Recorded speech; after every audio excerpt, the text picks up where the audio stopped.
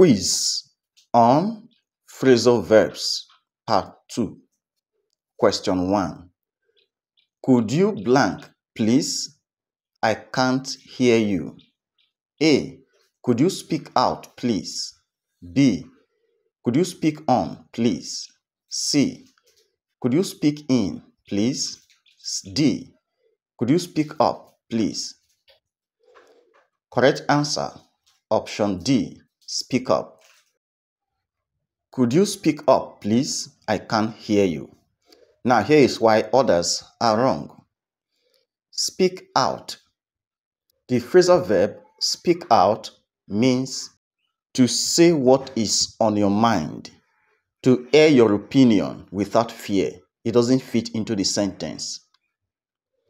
Speak on means to address often a topic or an issue.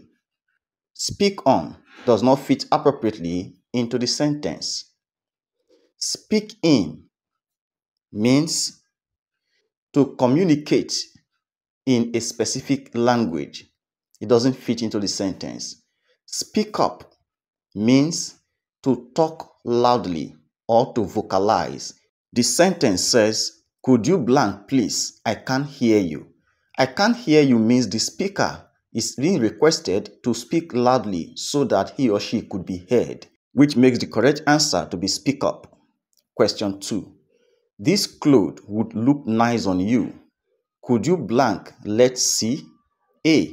Could you try it on? Let's see. B. Could you try it in? Let's see. C. Could you try it out? Let's see. D. Could you try it up? Let's see. The correct answer is option A. Try it on. Here is why others are wrong.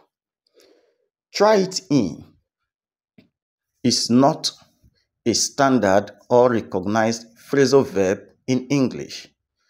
Try it out means to test something in order to check if it works well. It doesn't fit appropriately into the sentence. Try it up is also not a standard or recognized phrasal verb in English. Now, try it on means to put on clothes in order to check how it fits, which goes appropriately into this space.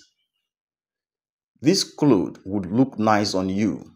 Could you try it on? Let's see. Question 3.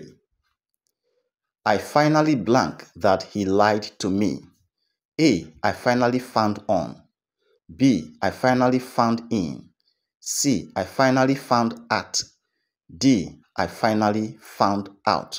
Now, this question is for you. Which is the correct phrasal verb for this sentence? Kindly leave your answer in the comment section.